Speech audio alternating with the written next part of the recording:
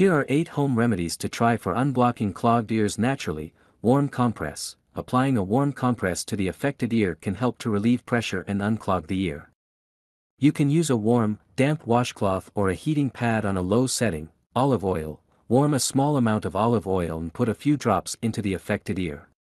Tilt your head to the opposite side to allow the oil to drain out.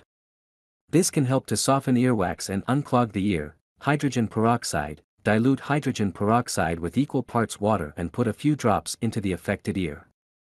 Tilt your head to the opposite side to allow the solution to drain out. This can help to dissolve earwax and unclog the ear.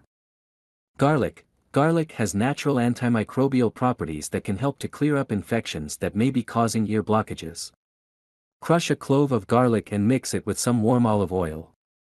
Apply a few drops to the affected ear and tilt your head to the opposite side to allow it to drain out. Apple cider vinegar, mix equal parts of apple cider vinegar and water and put a few drops into the affected ear.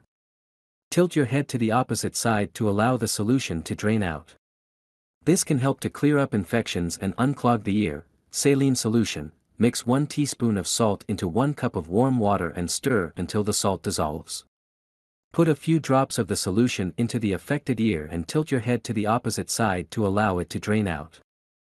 This can help to relieve congestion and unclog the ear. Steam, inhaling steam can help to relieve congestion and unclog the ears. Lean over a bowl of hot water and cover your head with a towel to trap the steam.